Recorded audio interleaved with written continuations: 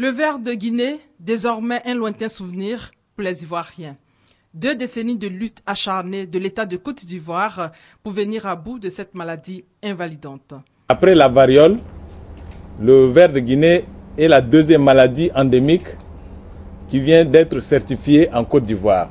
Votre département, Madame la Ministre, a su appliquer rigoureusement les mesures d'hygiène publique en s'assurant un approvisionnement en eau de bonne qualité des populations à risque et en menant une surveillance épidémiologique efficace.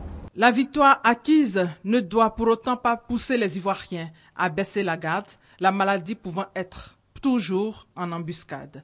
Des risques de réintroduction de la dracunculose à partir des pays voisins, la CICED recommande que la Côte d'Ivoire maintienne un système adéquat de surveillance de la maladie à travers le renforcement de la surveillance intégrée des maladies et la riposte et du système de récompense. Et le ministre de la Santé d'ajouter que le certificat qui vient d'être remis à la Côte d'Ivoire parviendra au président Alassane Ouattara. Le certificat d'éradication est la conclusion du travail d'une mission internationale de certification repartie en cinq équipes.